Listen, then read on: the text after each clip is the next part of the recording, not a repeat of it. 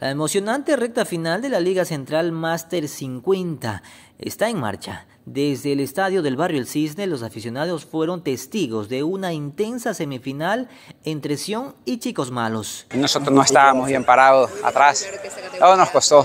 Al segundo tiempo pues reorganizamos la defensa y equilibramos el partido, tanto así que hicimos dos goles.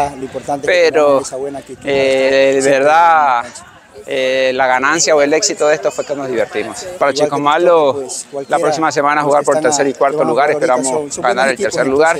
Bueno, vamos a buscar ganarlo y terminar bien la temporada pasada. Sion brilló en la primera semifinal asegurando su pase a la final con una victoria convincente 6 a 2 sobre Chicos Malos. El equipo demostró un juego sólido y determinación para avanzar en su busca del título.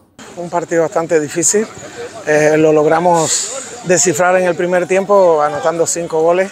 Eh, gracias a Dios hice tres, eh, uno de penalti, dos en pelota movimiento y, bueno, ya estamos en la final.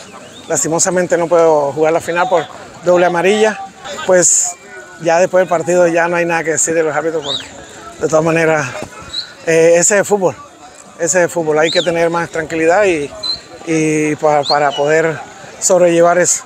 Con la contundente victoria de Sion se alza como finalista, preparado para enfrentar el desafío final en la Liga Central de la Master 50 y el aliento positivo no se hace esperar. Mi equipo en general, claro, tienen toda la confianza y sabemos que merecemos quedar campeones porque tenemos buen equipo y, y muy buenos jugadores. Para TVNet Deportes, Héctor Moncayo.